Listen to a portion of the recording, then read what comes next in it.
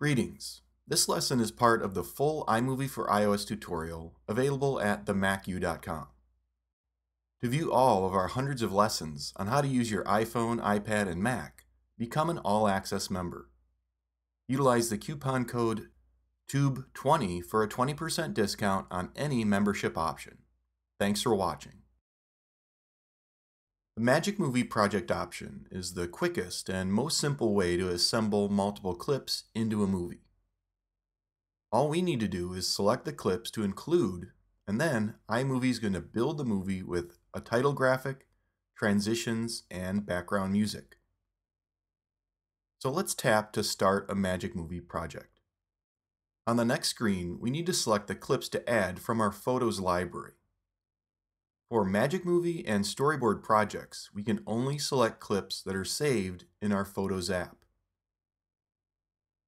With a Timeline movie, we are able to select clips from the Files app as well. So in Photos, I already have an album made called Deadwood Reservoir Weekend. Tap on the album here, and I'm able to select individual photos or videos to add to the project. Or I can tap the Create Magic Movie from this album option to use all the items in this album. When I do that, iMovie gets to work creating the movie.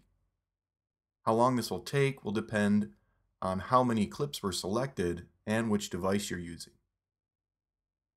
Once completed, the clips are displayed in the sidebar to the left, with the first clip in the movie on top.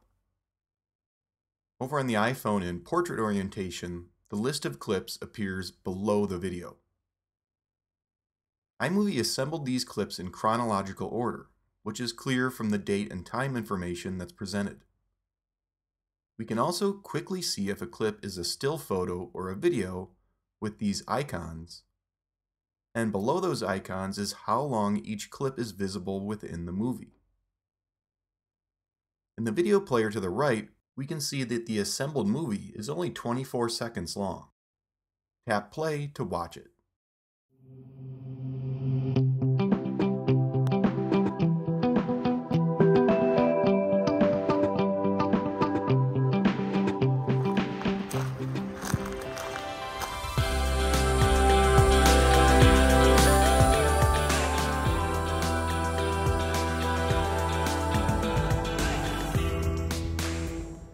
Okay, so that's not bad for a quick video that I might want to share with friends via iMessage or on social media. But a few of the clips go by too quick and need to be extended or slowed down. I also might want to adjust the title style that we see at the beginning. To do that, I'll need to tap on the Magic Movie icon up here. This gives us a variety of title styles that we can use, and below we can adjust the background music, font, and color. I'm going to switch this to the journal style and then tap the font button and we can select from five different options here. To make a change, tap the option that you want, then be sure to tap the done button. Next, I'll pick a different color for the font.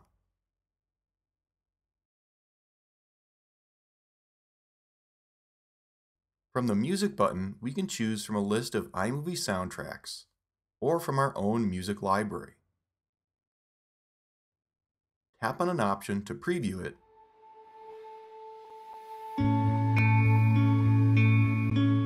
and to use the selected track, tap the Add button.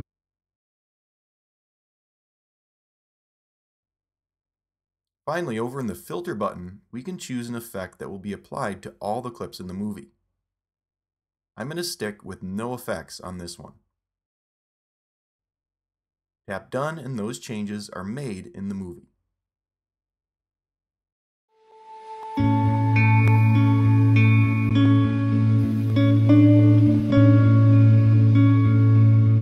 Next, with this first clip selected, let's tap on the pencil icon. From here, we can edit the clip, replace it with a different still or video, or use the camera on our device to shoot a new still or video to use in this clip. I just want to edit the current clip. That brings us into a simplified movie timeline. To extend or shorten a clip, tap and drag on either of the yellow handles. At the top of the video, we're able to see the duration of the clip change. Tap and drag to scrub through the entire movie. Tap on another clip to select it. Tap play to view the movie from that clip.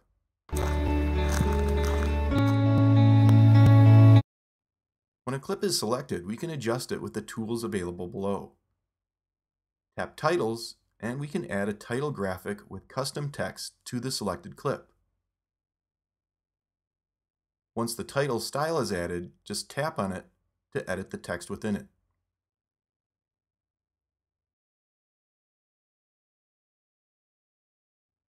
For this clip, I want to shorten the front end to move the start point forward. Then extend the back end of the clip so we have a better view of the water.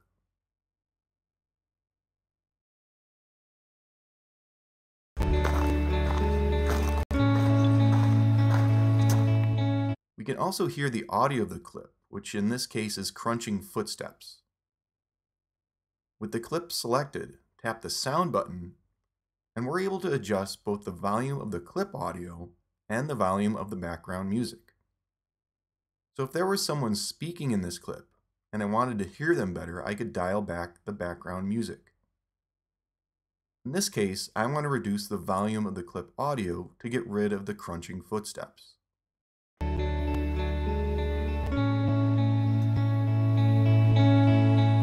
We can also quickly record a voiceover for a clip. First, I'm going to extend this clip. Then with it selected, tap the voiceover button. Once ready, start recording.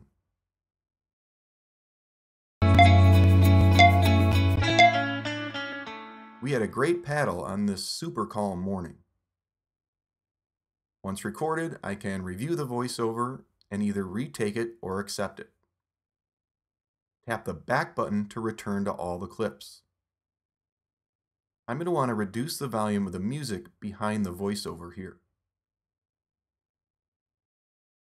We had a great paddle on this super calm morning. Another way to extend a clip is to slow it down. With this last clip selected, I'll tap the speed button and reduce it to two-thirds speed, which will extend the clip which ends the movie with a fade out.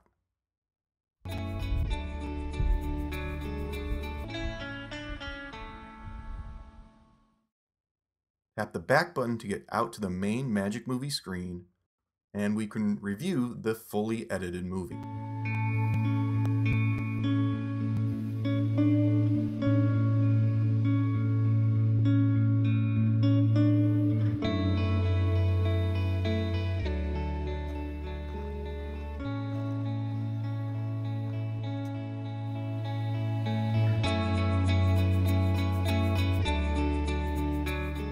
We had a great paddle on this super calm morning.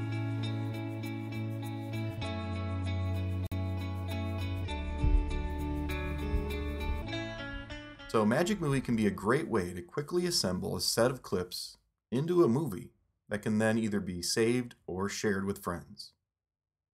Next up, we'll look at how to use the storyboard project option.